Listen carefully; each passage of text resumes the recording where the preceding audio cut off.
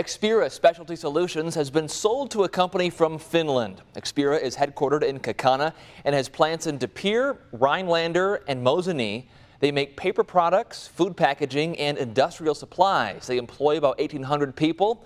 Company officials say the final sale is expected to take place later this year, and the Outagamie County executive says the move should mean more good-paying jobs.